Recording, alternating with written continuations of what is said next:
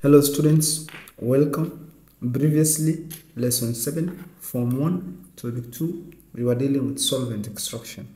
So today, lesson 8, we want to go to paper chromatography, that's the separation of colored substances. So we're saying chromatography is a method of separating components of a solution mixture by passing it through a medium where the where different where the different components move at different rates. So we're saying the medium through which the solution mixture is passed is called absorbent material. So next we are saying paper chromatography is a method of separating colored dyes by using paper as absorbent materials. So we are saying next since dyes are insoluble or do not mix in water or do not dissolve in water, propanol and ethanol are used as suitable solvents for dissolving dye. So if you remember when, we are dealing with solvent extraction, we said propanol and ethanol are used as the suitable solvent because they can dissolve the oil. But remember we said again water, which was the universal solvent, cannot use to dissolve oil or cannot be used in solvent extraction as well as paper chromatography. Reason being, water does not dissolve in coloring substances or the coloring matter and also the oil. So we say next practically, a simple paper chromatography involves placing a dye on absorbent material, then adding slowly a suitable solvent such as propanol or ethanol on the dye using a dropper. The next we are saying the solvent spreads out on the absorbent material carrying the soluble dye away from the origin or the baseline. So I say next the spot on which the dye initially originally is placed is called the baseline. And the farthest point where the solvent spreads is called solvent front or the solvent front is the farthest point where the solvent spreads out.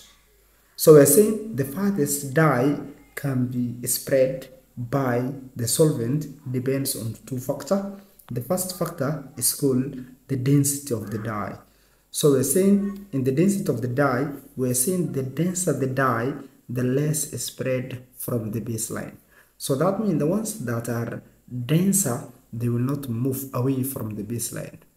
And we are saying next, the lighter the dye. So this is the lighter the dye. The lighter the dye, the high spread from the baseline. Number two, the second factor is the thickness of the dye.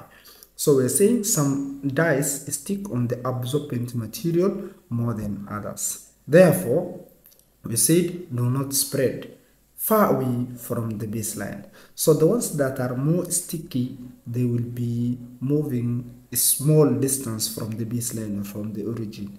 But if they are less sticky, they will be moving very far away from the from the baseline. So that means they will be moving near to the solvent front. Next, we are going to go to application of paper chromatography. Number one, we are saying in sports, chromatography is used to identify banned substances. Number two, used in food industry to identify contaminants in food and drinks. The number three, we said used in cosmetic industry to identify harmful substances. The number four, we said used to test purity of drugs. So next, we are going to go to sample questions on paper chromatography. So we're going to have question number one. We're told the diagram below shows spots for a pure substance A, B, and C on a chromatography paper. Full stop. We're told spot D is that of a mixture. So we're having A, B, and C for a pure substance. Then we're having D, which is for a mixture. So next we are told after development, A, B, and C were found. They were found to have moved 8 centimeter, 3 centimeter, and also 6 centimeter respectively. D had separated into two spots which had moved 6 and also 8 centimeter. So we told part A of our question on the diagram below label the baseline. The other name of the baseline was the origin. So if the chromatograph paper that we are given is this, this is the baseline or the origin. So, but P or Roman 2, we are told show all position or show the position of all the spots after development. So that means we are supposed to have the paper, then we are going to check the information given. We are told A or substance A had moved to 8 centimeter. So we can pick the 8, then the other one is 3 centimeter B, so we can put the 3 centimeter there. Then C is 6 centimeter, so we can put something somewhere there, the spot there.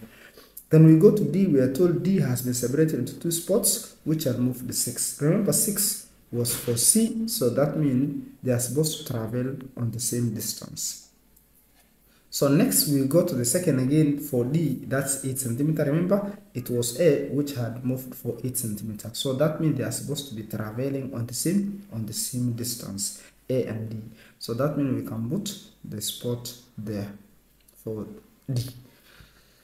So we go to the next part, that's but B, we are told identify the substance present in mixture D. So it is A and C because if you check A, it has moved 8 centimeter and D was moving 8 centimeter also and C was moving 6 centimeter and other spot for D had moved 6 centimeter. So we can have the answers here. So this is these are the answers. So we're having part A, Roman 1 and Roman 2. Remember Roman 1 4 was labeling the baseline or the origin and Roman 2 was uh, showing all the positions of or showing the position of all the spots after development. So we have shown here. So but B we are told identify the substance present in mixture D. This is D. So we check the ones that that have moved the same distance as D. One is A. So we're going to write A and the other one is C that you can see. So we go to question 2. We are told the, cor the chromatograph below shows the constituents of uh, flour extract using an organic solvent. So we are told but A on the diagram, on the diagram indicate the solvent front. So we say this is the solvent front. The solvent front is the farthest point where the solvent uh, spread or spread out. So but B, we are told name a possible organic solvent that you can use for this experiment. So we can talk about propanol or ethanol. So, but see, we are told state one property that makes the red pigment to move the farthest distance from M. So if you check, we are having red, which has moved on the farthest point from M. That means the two factors that we hit there was one, density or the solubility. That's what we can talk about. So we can say red is the most soluble pigment. That's why it has traveled to the uh, farthest distance from M and it is less sticky that's why it has also uh, traveled on the on the farthest distance from him. so but D we are to describe how one can get a sample of yellow pigment so when you check the answers here we're having part A we are having part A to show the, uh, the solvent front or to label the solvent front but B we are told uh, name a possible organic solvent you can use for this experiment. We can talk about propanol or ethanol. So, but see, we are told state one property that makes the red pigment to have moved the farthest distance from M. So, this is the red pigment. So, we can say one, it is most soluble in the solvent and less sticky. So, that's the reason why red pigment to move the farthest distance from M.